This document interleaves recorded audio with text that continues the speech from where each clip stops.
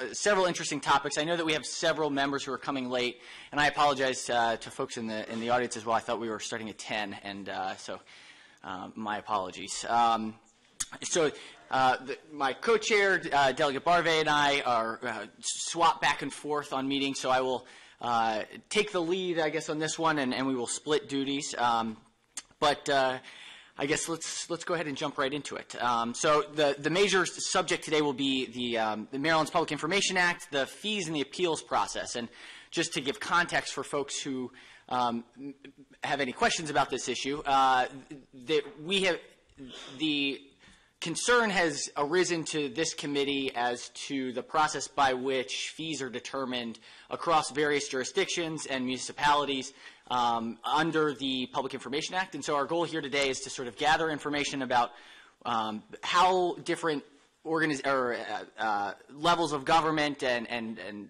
organizations of government come up with these fees and see if there is any sort of standardizing process that may be possible that's not too burdensome on local jurisdictions uh, or the state, but that is reasonable. So this is really a fact-gathering um, exercise today, uh, and we look forward to the testimony from the various folks who will be joining us.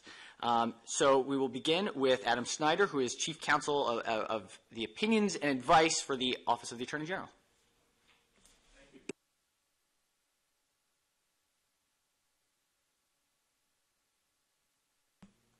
There it's on. Okay. The red stripe.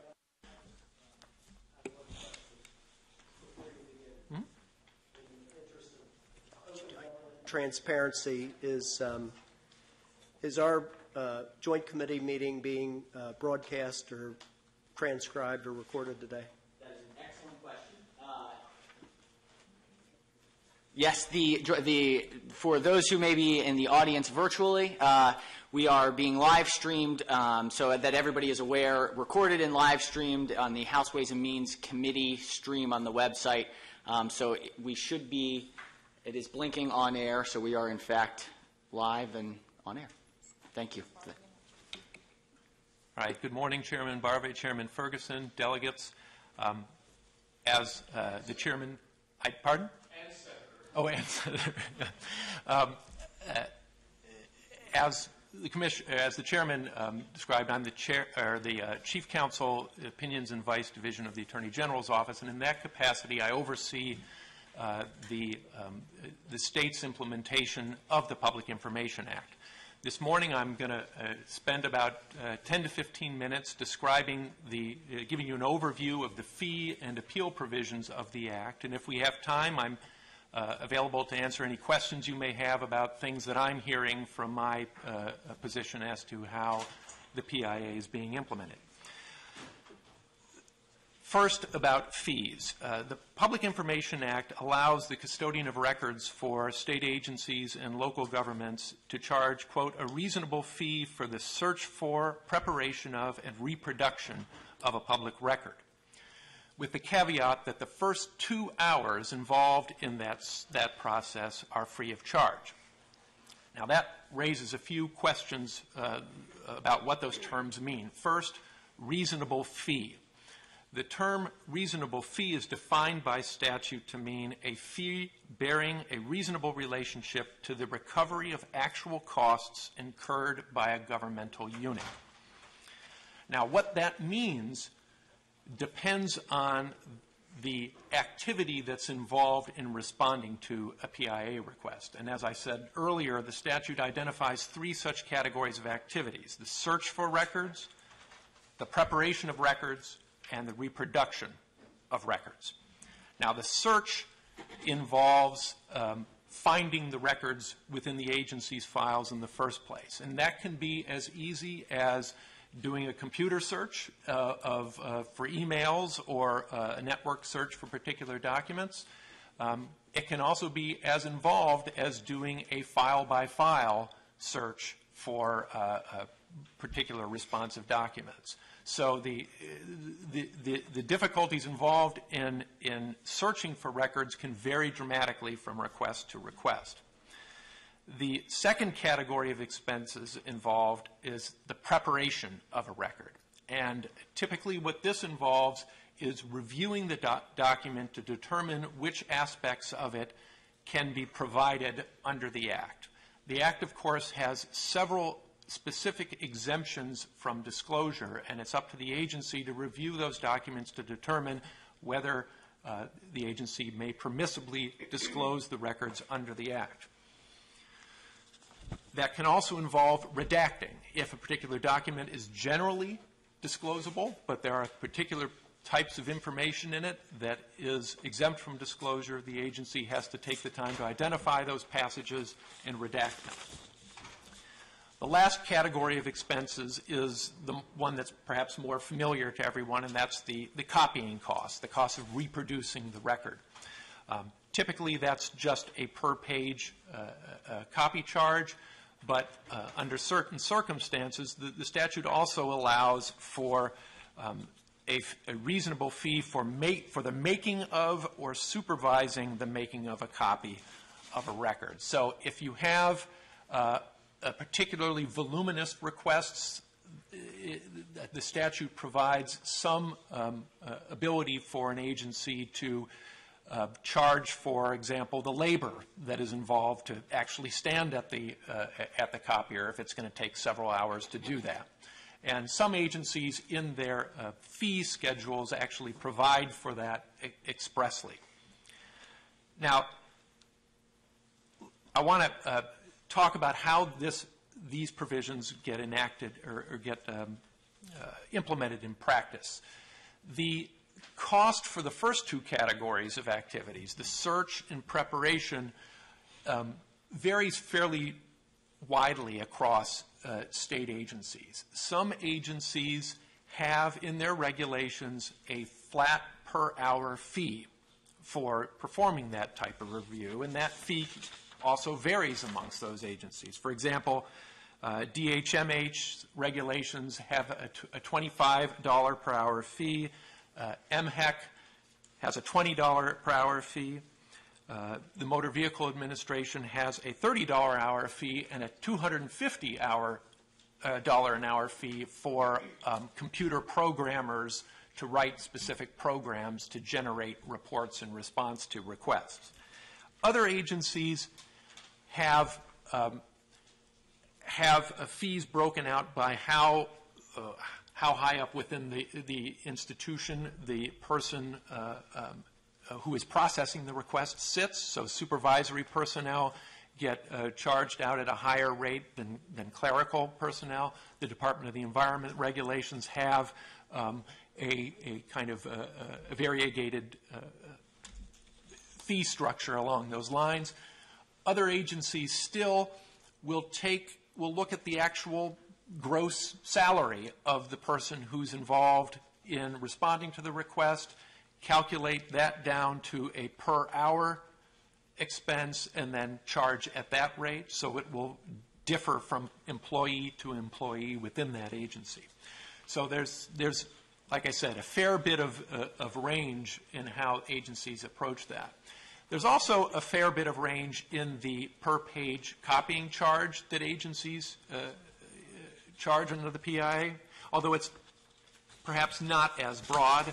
Probably about half of the agencies charge uh, 25 cents per page, but it ranges from, uh, from a low of, uh, I think MVA charges only 3.5 cents per page for certain types of, of documents to a high of 51 uh, uh, cents per page that the Board of Public Works charges. Um, and, but there, there's agencies at pretty much every price point between those two. So it is spread out fairly broadly, although, like I said, uh, probably the predominant fee is 25 cents per page. If, however, well, sometimes an agency will get a request for documents that they can't copy in-house one example would be large, oversized property plats. Uh, in that instance, agencies have statutory authority to charge what the actual cost is for providing the facilities to copy that document. So if they sent it out to a Kinko's that charges five bucks a page, that's what the agency would charge. The, there are provisions in the Act also to allow for the waiver of fees. And fee waivers are available if the applicant requests a fee waiver, and the agency or the custodian, after considering the ability of the applicant to pay the fee and other relevant factors, determines that waiver of a fee would be in the public interest. Now, the statute specifically says that the agency has to consider the applicant's ability to pay, but it also says that the agency consider other relevant factors. So the fact that an applicant can or cannot pay is not necessarily dispositive. The test here is whether it, a fee waiver is in the public interest. And the types of factors that the uh, courts tend to evaluate here is is the request, does the request have significance really only for the requester or a very narrow um, group of people, or does it have a wider significance? The wider the significance, the more likely that the fee waiver would be uh, in a public interest. Also, does the requester have the means to disseminate uh, his or her message to the public? So, uh, for example, uh, a prison inmate may be less likely to get a fee waiver despite their, you know, fairly obvious inability to pay because they tend to be seeking documents for their own post-conviction proceedings and really don't have the means to broadcast a larger message that would kind of implicate the public interest provisions of the Public Information Act. Conversely, a newspaper, which um, uh, uh, very much has the ability to disseminate a message, uh, is, is typically the, the, the, the type of requester who's in a good position to get uh, obtain a fee waiver. Now, uh, before I move on to appeals, uh, I, I, do want to talk a little bit about um, how I see the, uh, fees working in practice and um, kind of what I see as the, the, policy justifications that you will, will consider in, in, in your deliberations on what to do about fees. Um, the importance, there, there's two parts of, of, the fee provisions of the Act that, that are important to, to consider here. One is that it encourages requesters to think about what materials they're interested in and to request just those materials rather than the kind of uh, catch-all requests that you tend to see in, for example, in litigation. You know, give me all documents relating to the pollution of the Chesapeake Bay is going to re reveal an astonishing or encompass an astonishing number of documents and generate a very high fee request. The fact that that request will generate a fee that the applicant will be responsible for encourages them to sit down with the agency. Again, perhaps the, the requester doesn't really know how to describe what it is they're after. Um, but it, the, the fee provision encourages that requester to begin that dialogue with the agency and, and find a way of crafting a request that gets at the stuff that they're really interested in with the least inconvenience to the agency and the least expense to the applicant. The, the other policy aspect of this is who should be bearing the cost of submitting PIA requests. Um, whenever someone submits a request and the agency has to divert resources to fulfilling that request, that means that the agency's other customers or regulated community, um, at least theoretically, should experience a drop in the services that they receive because folks will be um, uh, fulfilling PIA requests. Now, that, there's nothing wrong with that. Uh, the Public Information Act is a law just as the other laws that agencies uh, uh, enact. But the, the, the, PIA fee provisions and the waiver provisions are kind of based on the, the policy, policy choice that if a request is truly in the public interest, well, then you waive the fee and the whole public pays for it. If, however, the, the request is more of a private matter or more narrow with a more limited significance, well, in that instance, the public shouldn't be footing the cost of responding to that request. The requester should. So those are uh, some of the policy considerations that are at, at play in how the, the, the fee uh, provisions work.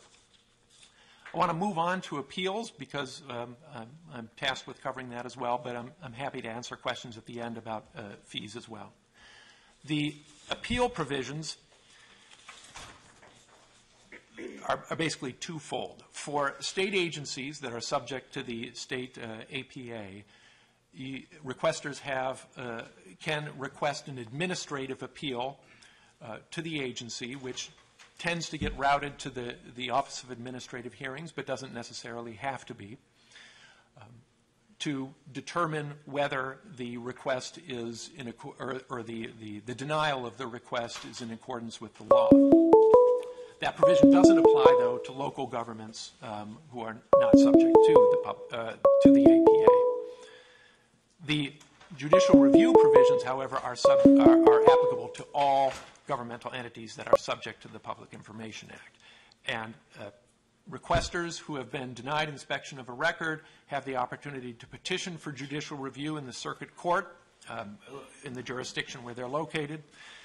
And they have no need to take advantage of the administrative appeal provisions before they do so. There's no exhaustion requirement. So if you're requesting records from the Department of the Environment, a state agency, you don't have to do the administrative agency approach first. You can go straight to court. Local government request, you go to straight to court anyway. Appeals are to be expedited in every way. The agency has the burden to support its denial.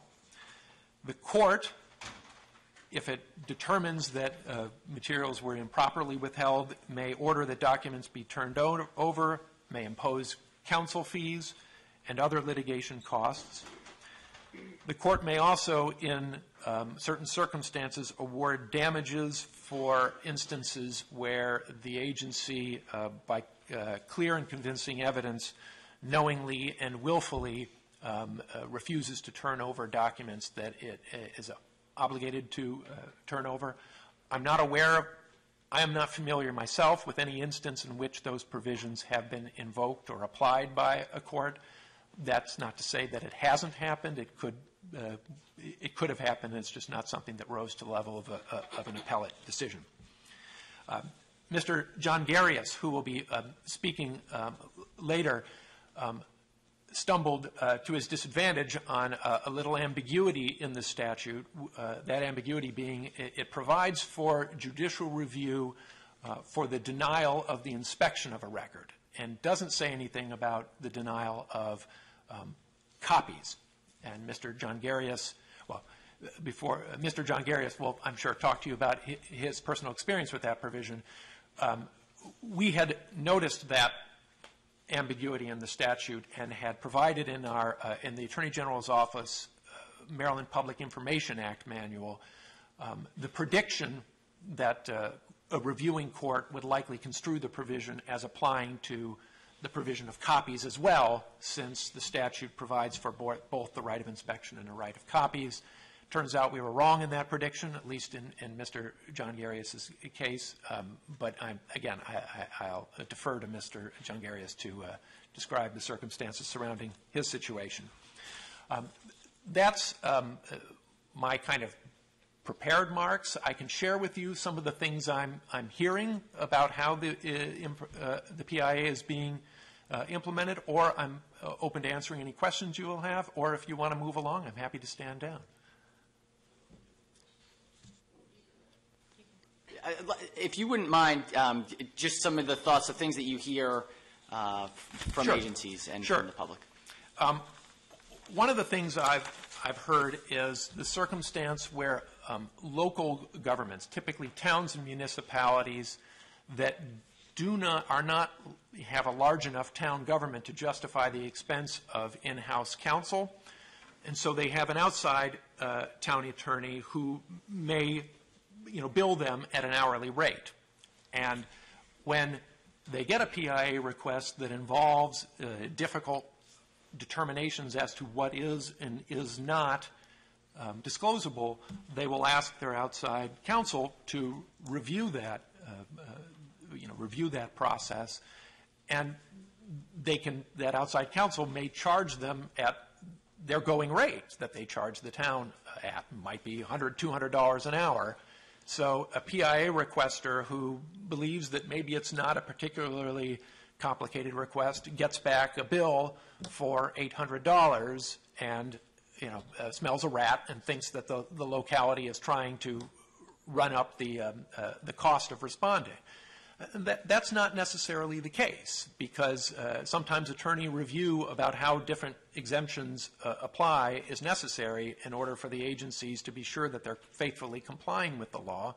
And if the statute provides that they're allowed to recover their actual costs and their only means of getting legal advice is by sending it to outside counsel, the, the town's not doing anything wrong, but at the same time, you know, the, the, the requester um, feels that they're being um, deliberately frustrated in their efforts to get at, uh, at public records. So that, that's a tension uh, I, I, see in, in, in, how the act is being implemented. And again, I don't think either side is doing anything wrong there. It's just kind of the nature of the beast.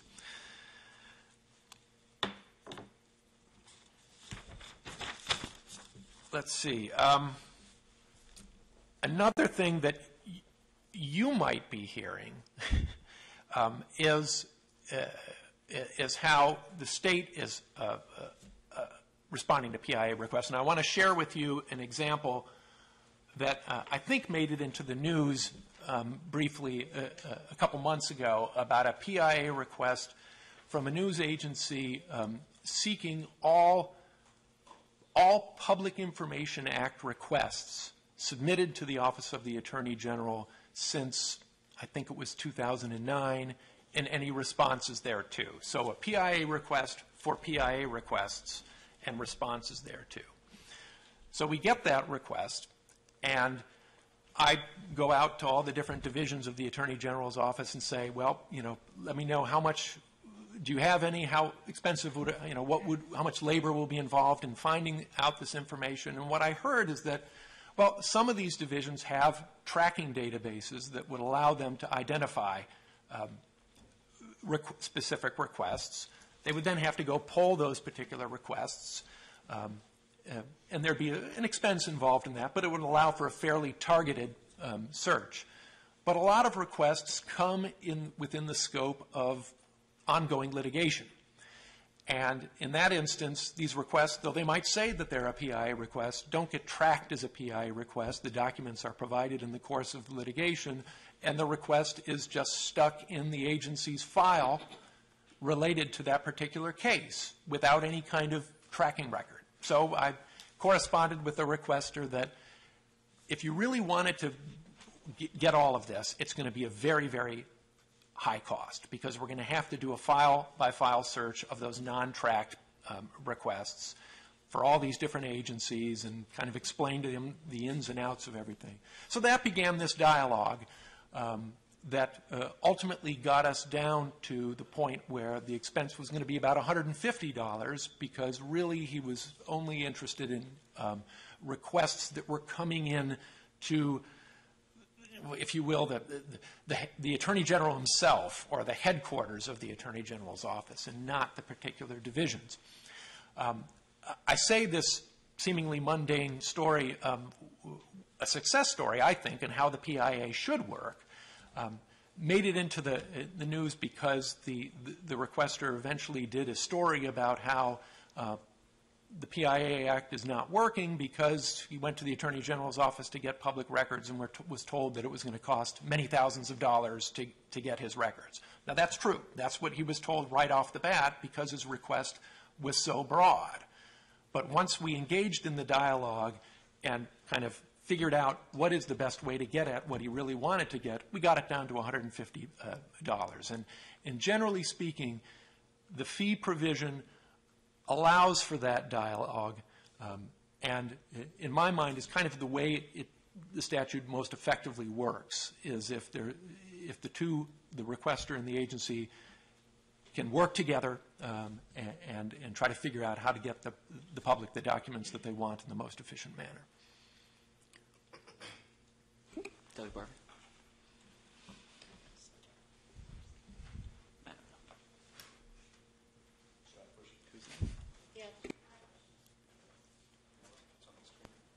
There we go.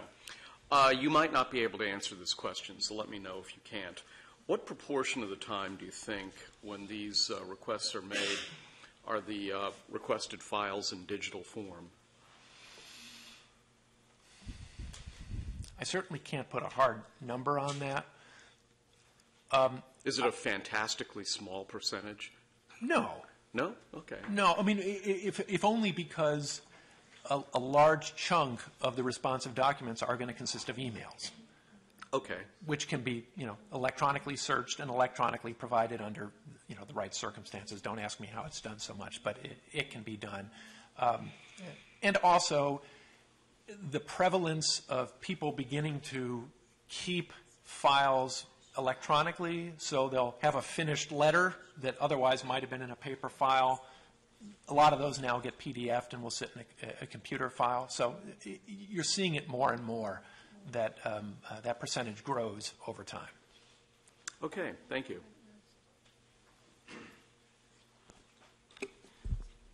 Questions from the committee? Uh, I have a couple of questions. Thank you. This was a very, very helpful presentation. Um, the fee structure, it also varies pretty dramatically across local municipalities, uh, counties and, and municipalities, as much as it varies across agencies. Is that fair? You know, I, I- I, I don't know, um, just because I don't Deal. implement that portion of it, and, and it's easy enough to search through COMAR and find what the range is. Um, I haven't uh, done that with respect to local uh, government fees. The, re- and the requirement that, um, or, or the act of putting it in regulation, that some agents, so I guess uh, DMV and, M- and, or MVA and um, DHMH, that was by choice. It's not required that their fee structure be outlay, or, or uh, illustrated through re- regulation. Yeah, I don't believe that's statutorily required, but most agencies do that.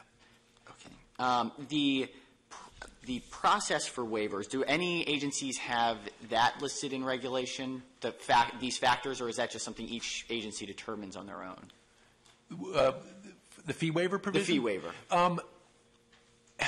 I, I think the, the vast majority, if not all, of the state agencies have provisions that fairly closely follow the statute that say, you know, uh, we consider the inability, the, the, the ability of the applicant to pay the fee and other relevant factors, and will issue a fee waiver if it's in, in the public interest. I, I'm not aware specifically of any agency that has tried to break that out in greater detail, uh, in part because well, I mean, the- the courts apply their own set of standards. Uh, An agency spelling it out may get some deference on that point, but I think courts wouldn't be shy about um, um, judging for themselves what, what public interest is, given that it's a flexible enough statutory standard. That makes sense.